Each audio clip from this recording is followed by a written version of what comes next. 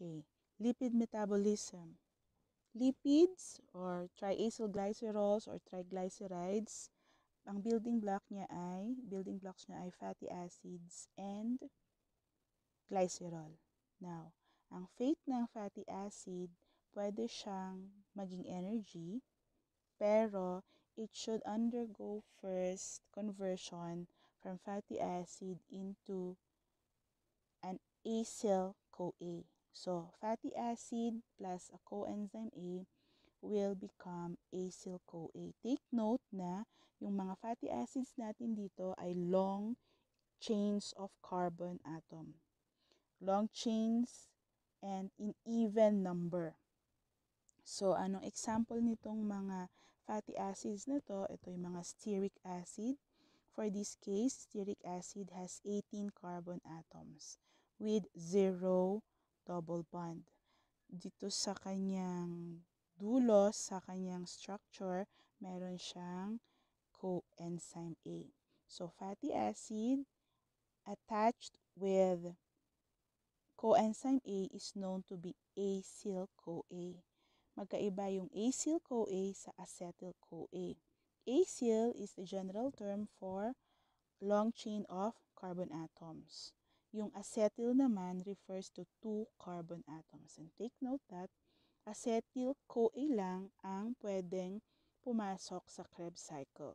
So, paanong ang 18 carbon atom example natin dito, yung 18 carbon atom na acyl-CoA, paano siya magiging acetyl-CoA para makapasok siya sa Krebs cycle. So, meron tayong apat apat na steps. Una ay dehyd dehydrogenation.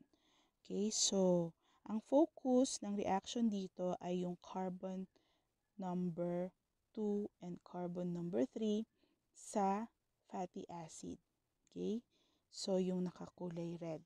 So, dehydrogenation, tatanggalin natin yung hydrogen from each carbon atom, carbon 2 and 3, with the use of an intermediate FAD. So, kinuha niya, naging FAD H2 siya.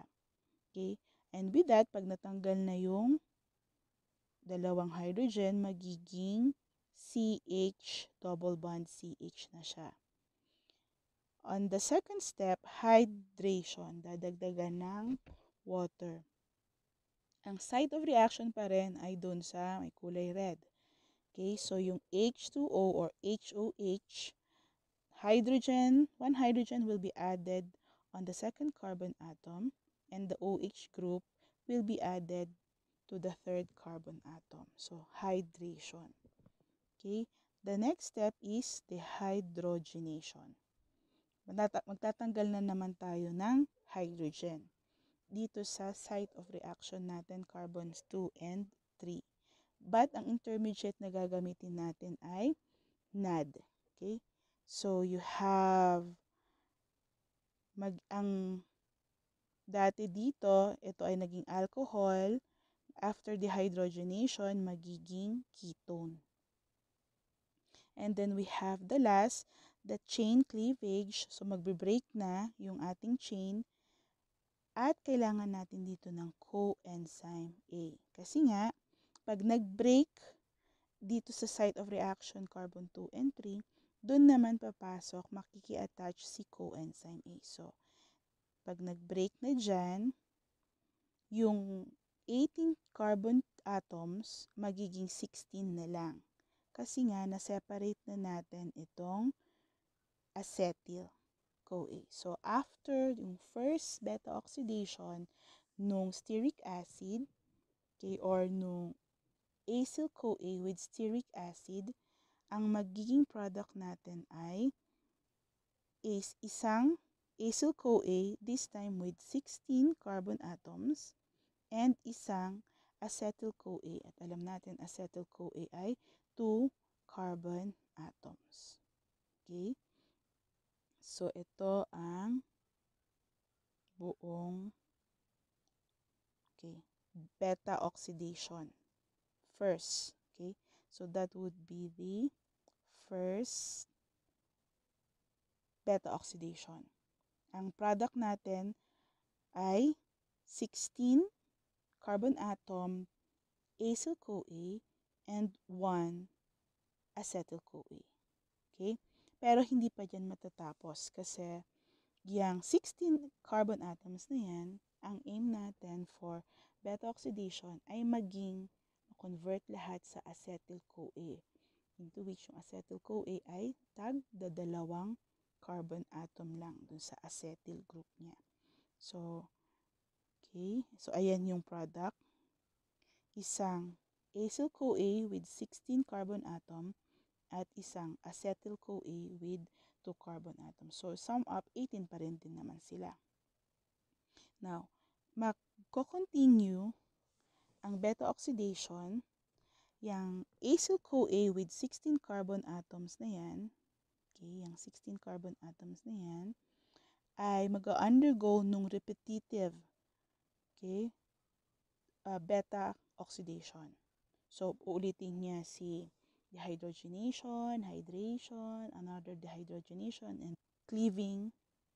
Okay, so hanggang sa yung 16 carbon atom na yan ay magiging 14 carbon atom na lang. Acyl-CoA pa rin siya, pero 14 na nga lang, plus the acetyl-CoA. Okay, so that would be the second run of beta oxidation. So, syempre, 14 carbon atom yan. So, ang aim natin maging 2 carbon atoms lang siya. So, uulitin niya ulit yung cycle ng beta oxidation. Okay? So, yan yung third repetition. After the third repetition, ang maproproduce natin ay isang acyl-CoA with 12 carbon atoms at isang acetyl-CoA. Okay?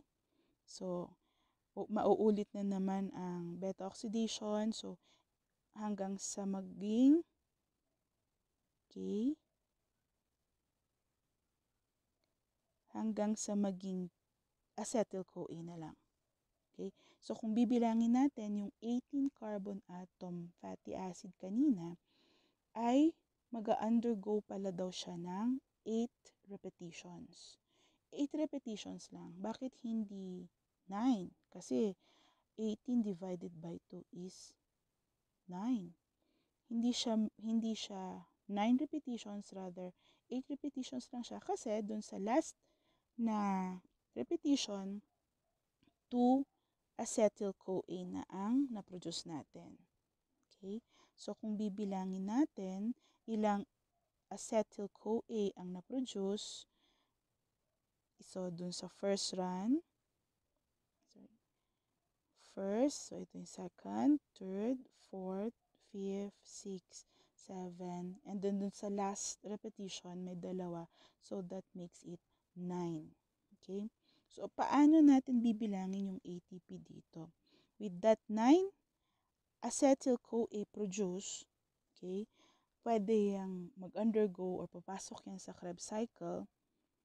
At alam naman natin na, na each cycle each Krebs cycle needs one acetyl-CoA and for that, mag-undergo siya ng, papasok naman siya ng stage 4 na uh, ETC and, and oxidative phosphorylation, electro, electron transfer and oxidative phosphorylation. So, 10 ATP ang maproproduce doon. So, with that 9 acetyl-CoA, okay, yung 9 acetyl-CoA na yan, undergo yan ng Krebs cycle producing each cycle 10 ATP. So, 9 acetyl-CoA will have 9 Krebs cycle. So, that will have 90 ATP. Etong 8 FAD-H2 and 8 NAD NADH. Bakit 8? Kasi kung maalala natin kanina, yan, 8 repetitions. Diba, dun sa isang repetition, nagka-produce tayo ng FADH2 dun sa step 1, dehydrogenation, tapos nakaproduce din tayo ng isang NADH dun sa third step na dehydrogenation din. So, with that 8 repetition, makakaproduce din tayo ng 8 FADH2 and 8 NADH. So, yung 8 FADH2, mag-produce siya ng 1.5 ATP. So, equivalent niya ay 12 ATP. And then that 8 NADH naman will have an equivalent of 2.5 ATP. So, the total will be 20. So, ang so ang total, overall total will be 122.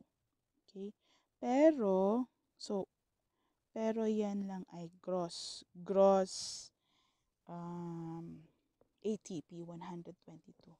Dito sa bilang na ito, magma-minus tayo palagi. So, constant yung minus 2 ATP kasi nga kailangan natin ma-hydrolyze yung uh, merong, may process na pag-hydrolyze ng ATP to ADP. Okay, so kailangan natin ng magbabawas ng 2 ATP. So, ang net ay 120 ATP.